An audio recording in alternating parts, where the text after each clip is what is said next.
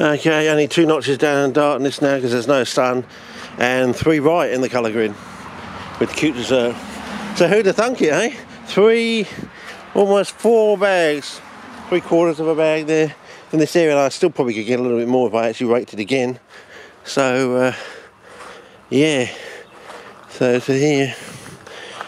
So I reckon we're going to get another four bags out of this section maybe four or five out of this section. So, um, mm. so when, when I tell my dad, you know, I, I, did 26 bags last year, or I did 32 bags, he, he's scratching his head, thinking, I, I, don't believe it. And I'm thinking, well, hang on.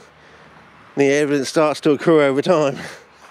we do live in an evidence-based society, so. Um, I mean, I just got two bags out of that stuff that fell fell on on the bricks from the from the tree up there, as you can probably see. So uh, yeah. So and it's also these little micro, these little cone things, you know. They do actually take up space, you know.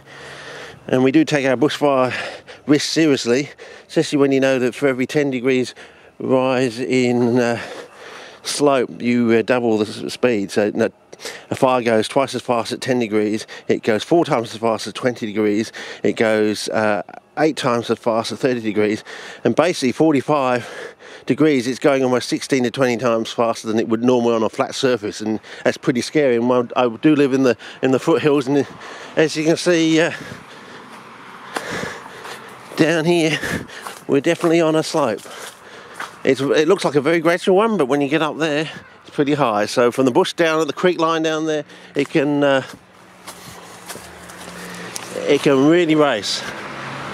And of course, you can get uh, spot fires from embers, and you can get sort of ignition from just the radiant heat alone. So, uh, anyway, that's about it for now.